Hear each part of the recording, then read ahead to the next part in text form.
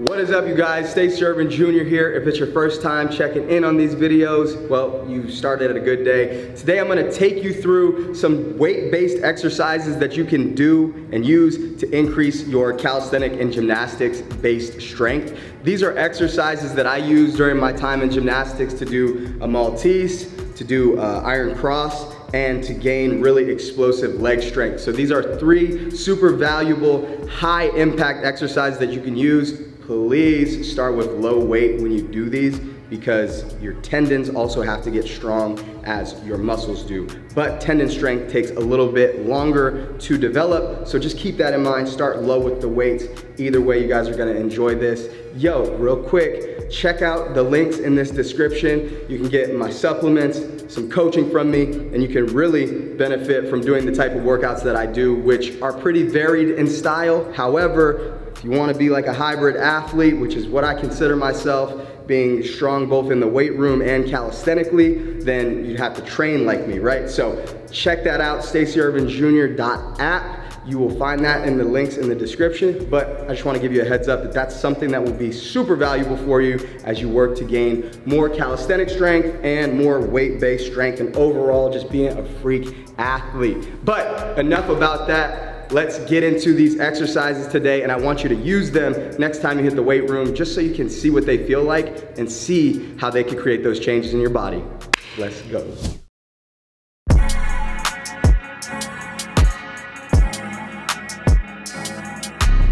So before we get into this, actually there are a couple more weighted exercises that I wanna show you that we use to warm up our shoulders in gymnastics.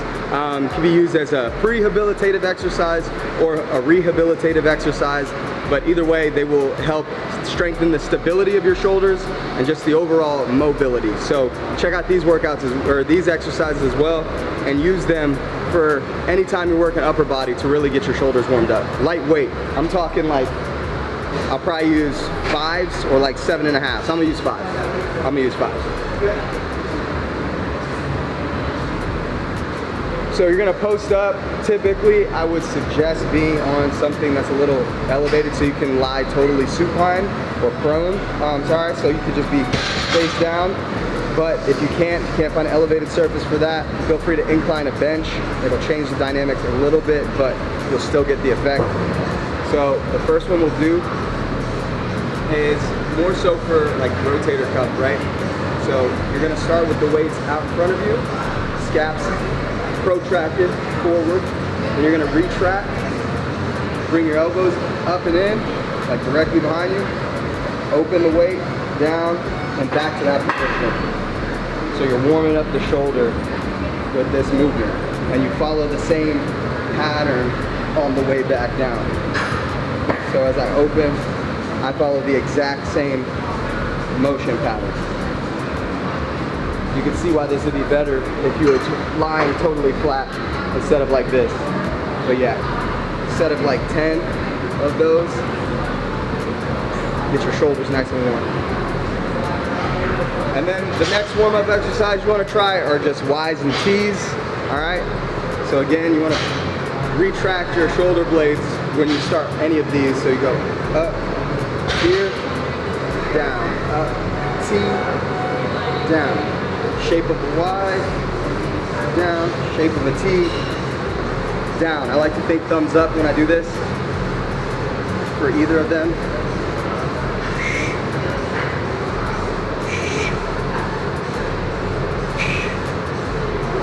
Really keeps those shoulders nice and healthy and gets them prepared for exercise. Now this first exercise I'm gonna show you is uh, Maltese push with dumbbells. Now, the only time I was ever able to do a Maltese during my gymnastics career, I was doing this exercise with 75 pound dumbbells in each hand. That's pretty heavy considering the movement that you're about to see. Um, but again, like I'm about to do this with 30s. First of all, I haven't done it in a while. Secondly, I'm not trying to get my Maltese back at this moment. And thirdly, I just don't think that my tendon strength is where it was prior to I guess this moment in time. So I'm gonna show you this movement. Again, you can try it out yourself, but essentially what's gonna happen is you're gonna find yourself on a bench. You're gonna hold hollow hold, so good position hollow hold, and you're going to have dumbbells in each hand. you're going to extend those dumbbells down to your side and then press them back up, right? So a Maltese is like a flat, a flat position on the rings, right? So that's what we're training here is the front body, anterior portion of our body and shoulders to be able to push and maintain body weight, right? So the heavier it gets in each hand, the more closely it aligns to body weight. So I'm gonna stop talking, I'm gonna just show you what the hell it is anyway. So I got my dumbbells. First thing I wanna do is lay back and extend the weight over my head. Next step, to start, let's, let's have you start with your feet based on the floor, okay? Because a more advanced way to do this would be to be in the hollow hold, but I prefer you keep your feet on the floor to start this. Again, go lighter than this. 30s is already, I can tell, a lot of weight for this, especially on your elbows. But here's the exercise. Jesus Christ. and push. Lower the weight down to your side and push. You can see how this would strain the elbows if not prepared for this movement as well as how gymnasts get those eccentrically strong biceps from holding positions like this. But even at 30 pounds right now, this is extremely challenging and everything is pretty tense. But like a set of five to eight of those as you begin will be pretty sufficient.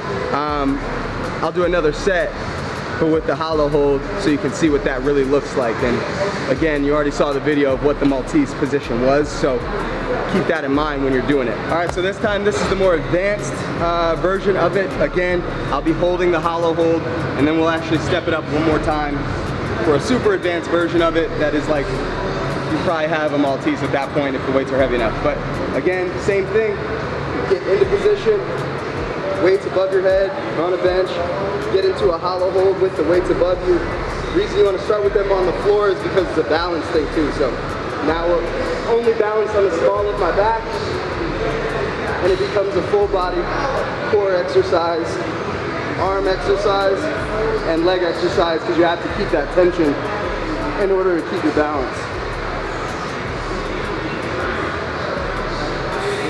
But you can see how this would strengthen your ability to do a Maltese and also your planche strength. And hold.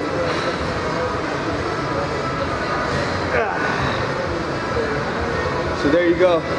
Those are Maltese pushes. And those things, they'll make you work. and then the last progression for this, you put a plate on your feet for the hollow hold and your weights in your hands, right? So y'all got me out here working today. Y'all got me out here working, working. It's a little more challenging to get into. So we'll start with that. Bring this weight up here. Get it low on your feet, okay? So you got more pressure on your core. Hollow hold with it.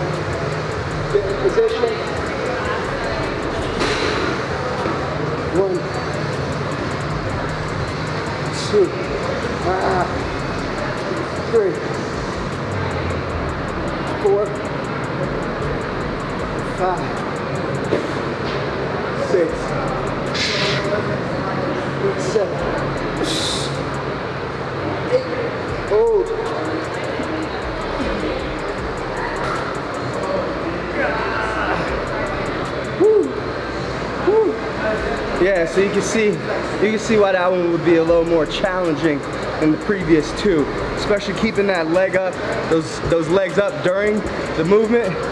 By the end of that, you're pretty toast. But again, that's just one skill for rings. You got to think of like the muscular endurance, strength, and power that it takes. You got to train for it. It's the only way to do it. So that'll do it for this one. Let's go over and uh, mimic some some iron cross work. All right, the next exercise we're gonna work on is for iron cross and cross pulls. So really working the chest strength and bicep strength and shoulders. So what we're gonna use is the cable machine. You're gonna hook up the two single hand grips on either side of it, a little bit higher, probably just above head height, or unless, you, if you can't do that, then just bend your knees a little bit for the exercise. But essentially, you're going to be in the iron cross position and you're going to be doing what I like to call cross flies. So pulling down towards your midline, you're keeping your shoulders and chest up as you go through the exercise. And you'll really feel the exercise working on the inside of your biceps here and that pec minor attachment. So make sure that you're warmed up again. if you do these exercises like in the sets and reps that I tell you, like a three sets of 10 or three to eight or three by eight, you're gonna be sore tomorrow. So just know that and take care of it. Roll out, drink water, do all that good stuff. But essentially, so here's the exercise, right? I'm gonna grab each handle. Right now I have 50s for each pulley. Start lighter than that.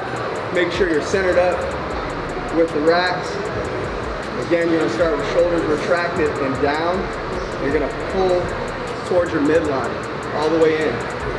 Slow on the way up, all the way back in.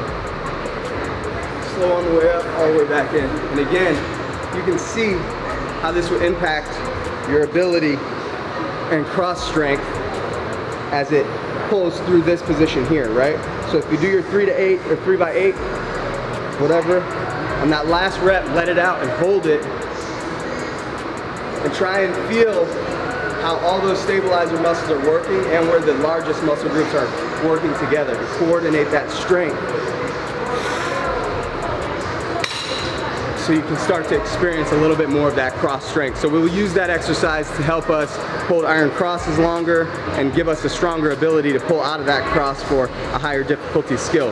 But that's really it for that one. You can increase the weight as you go um, to increase the difficulty and challenge, but for the most part, that's just, that's the exercise. It's a pretty cool exercise. I was saying like, I feel like anytime you use the cable machine to like do some stuff, you just feel like Hercules or some shit. but I'm gonna do one more set of these. I up the weight to 70 on each side, so it's a little more challenging. I haven't done this in a while. I'm definitely gonna be sore tomorrow. 70 is heavy for this. I feel it all over my shoulders, and my pec, and my biceps, and that pec attachment in the arm. Mm. Yeah. Woo. Definitely in the chest though. Definitely in the chest. And now, yes, arm strength is obviously extremely crucial for men's gymnastics, but we can't overlook the leg power and strength that you need to tumble and vault well, right? So the last exercise I'm gonna show you is actually a leg exercise. We've done two things for shoulders and rings and just general upper body strength and stability.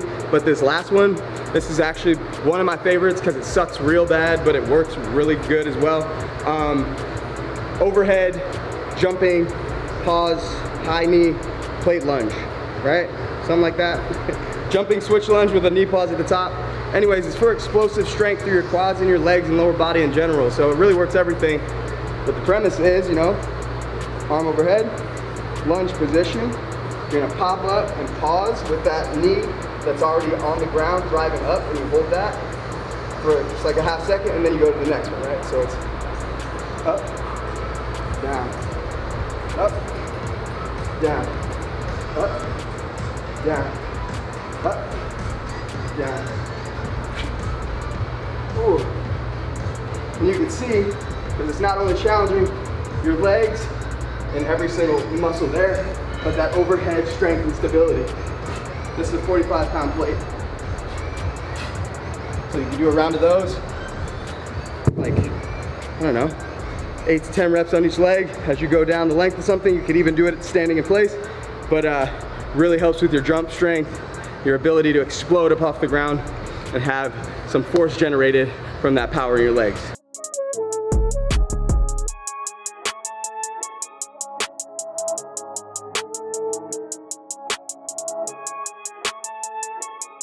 Anyway, there you go. Those are three exercises, well, plus the bonus of the shoulder warm-ups. Those are some exercises that you could do that are weighted using weights like a weight room, a gym, what have you, to increase your calisthenic or your gymnastic strength.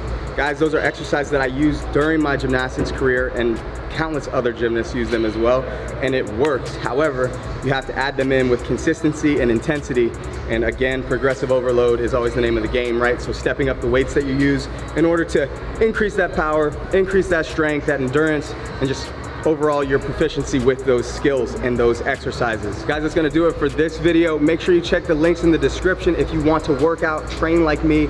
My app has just dropped not too long ago and you can sign up, get your first month for just a single dollar. Guys, I guarantee you if you try the workouts that I do, it's gonna change your body. It's gonna change the way you think about fitness. You're gonna have a good time doing it. So check that out. Again, links in the description for my supplements that I use, my meal plans that I create for my clients, and the merchandise that I sell. You know, Wave Apparel and 1st Phorm Gear, all that good stuff, guys. Check it out. All right, support your boy, holla at your boy, do the thing. Uh, if you like this video, give it a thumbs up. Make sure you subscribe and turn on those post notifications so you know when I'm coming back with another video. I'm out of breath and I'm out of time. This is Stacey Ervin Jr. signing off. Ride the wave.